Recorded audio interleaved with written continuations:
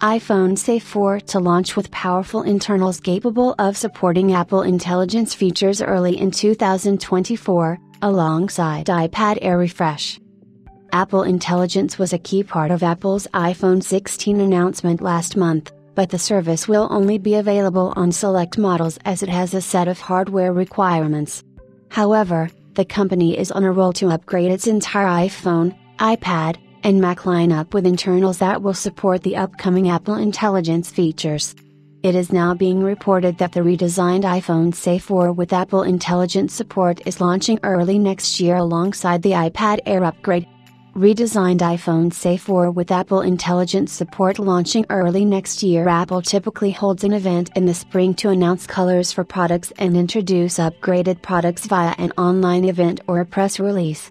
While we are not sure which route Apple will take as far as the event is concerned, analyst Mark Gurman from Bloomberg claims that the company will launch the highly anticipated iPhone SE 4 and the new iPad Air lineup early next year.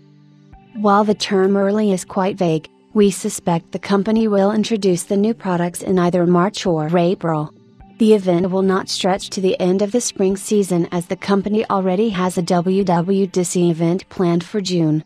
If the news has any heft to it, we might see the iPhone SE 4 with a redesigned chassis and a bigger OLED display as soon as the first quarter of 2025.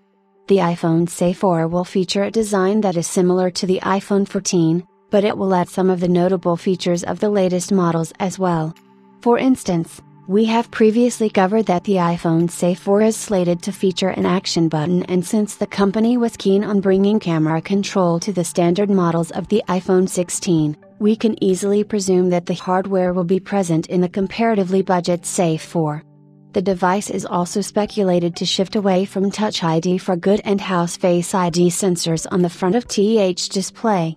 The device will house powerful internals, possibly the A17 Pro chip or the A18 Kai. P that will open doors for Apple Intelligence on the device. The service is only available on select models, which means that it will be more than a welcome addition. Additionally, the launch time frame of the iPhone SE 4 is perfect in terms of the rollout of the Apple Intelligence features.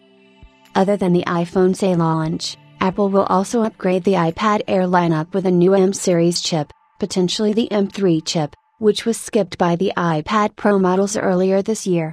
There are bound to be some internal changes as well, including better connectivity and possibly more RAM. These are mere speculations at this stage, so be sure to take the word with a grain of salt. The company will upgrade both the 11 inch and 13 inch models of the iPad Air, including upgraded accessories that will take some features from the iPad Pro models.